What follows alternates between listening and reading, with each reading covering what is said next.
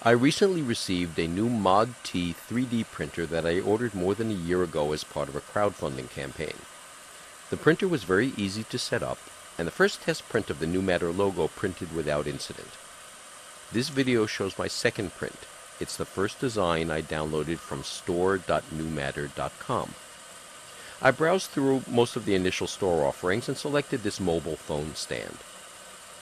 I'll document the builds of several upcoming projects, and most of them will use time-lapse photography. But for this one, I thought it best to show some of the tasks in real time so you can see the actual printing process. When I chose to print it from the web page, the design was placed in a print queue and then downloaded to my printer via Wi-Fi.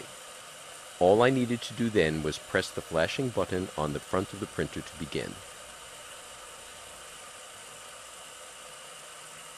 Because of the clever design of this printer, there's no need to fuss with or manually calibrate the print bed. The printer does its own calibration before beginning each print. I'll grant you that watching a printer calibrate, or watching any printer print for that matter, is not particularly exciting. But this might be useful for new Mod T owners or for those considering a 3D printer purchase. During this time, the hot end is heating up, getting ready for printing. I've loaded the pink 1.75mm PLA filament that shipped with the printer. As part of the calibration process, the bed is moved to each corner of the printer.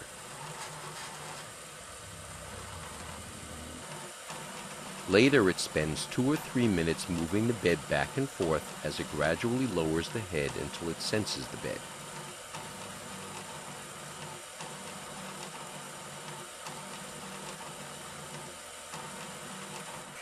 When the calibration is complete, the head moves to the right side of the bed and a little filament is extruded, just to get the filament flowing. This procedure is aptly called wiping the nose.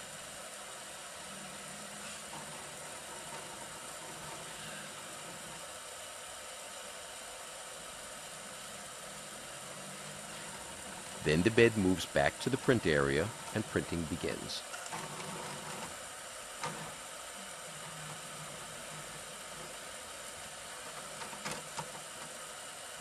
Normally, the clear plastic covering closes the entire printer, and that helps to keep the print area warm and clean, but I've removed it to eliminate reflections during the video recording.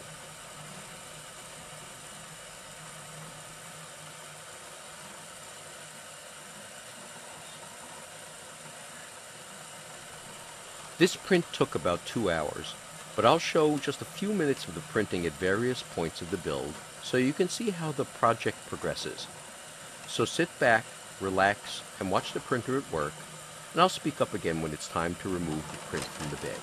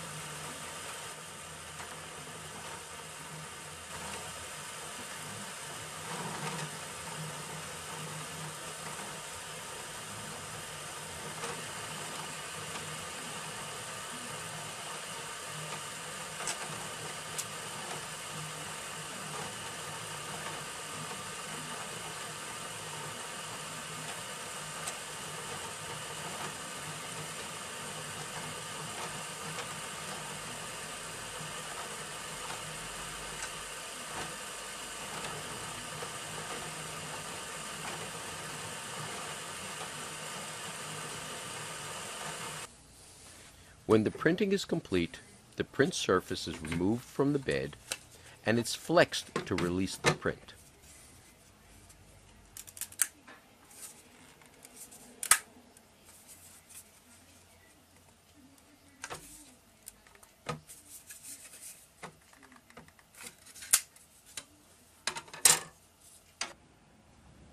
Then after a little cleanup of some extra strands, it's time to see how the stand works with a phone.